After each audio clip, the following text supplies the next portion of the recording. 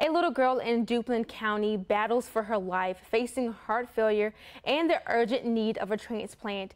News 12's Billiana Garland talked to the parents who won't let their daughter spend a single night in the hospital alone.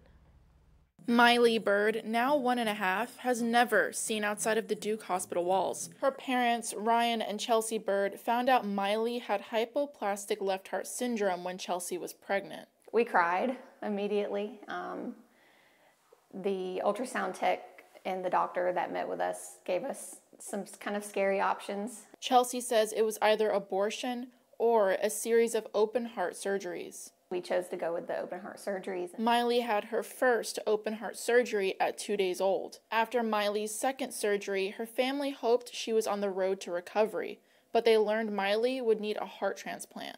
We were definitely blindsided. We were not preparing for her to be inpatient at this age waiting for a heart.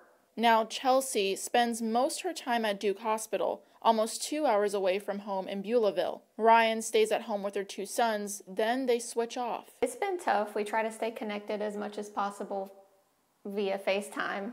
Our boys have really struggled with not having both parents. Both Chelsea and Ryan had to take substantial leave from work, prompting the community to step in. We know that Miley means a lot to this community, but we did not realize how much. Carrie Roberts, a new teacher at Beulaville Elementary, donated her personal days to the family so they could stay longer with their daughter. I would have donated every bit of leave that I had to her. She did literally anything she could to help the students in her class. You know, that's that's the least I could do was donate days to her. And while her tiny heart struggles with every beat, her church family continues to pray for her. In a day where there is so much division, Miley has been a focus for unity.